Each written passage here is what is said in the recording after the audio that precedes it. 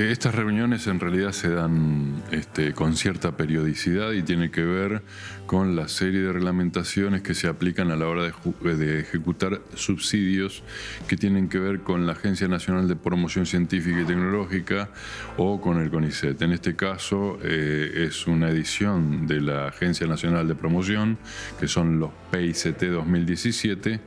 que, como dice la fecha, 2017-17, estaban demorados en el pago. Estamos en el 19.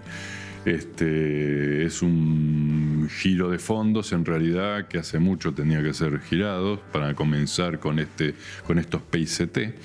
y lo que se convoca generalmente es a los directores de esos proyectos para este, hacerles conocer nuevas reglamentaciones o nuevos procedimientos. En este caso eh, tenemos nuevos procedimientos, nueva, digamos, para mejorar el flujo financiero de los proyectos que no se demoren, como la transferencia electrónica o la forma en que se tiene que gastar o la inmediatez en, lo que, en la que los investigadores tienen que gastar, este, sea por la mecánica de cómo giran los fondos, sea por este, la,